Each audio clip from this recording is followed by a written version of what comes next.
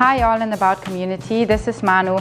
I just received my Safwa box which I only ordered yesterday evening. This is my favorite, the green butter head which reminds me of Germany. Safwa is running an amazing competition at the moment. Look at the nice green color, it can't be any more fresher than this. I prepared some healthy ingredients already. We have some chicken, tomato, paprika and feta cheese. Let's put it in the salad. And this is my dressing. I used extra virgin olive oil, some red balsamico and salt and pepper. To give it a bit of an extra crunch, I just sprinkled some pumpkin and sunflower seeds on top. To join the competition, please follow. Bye everyone, I'm now going to eat my healthy salad.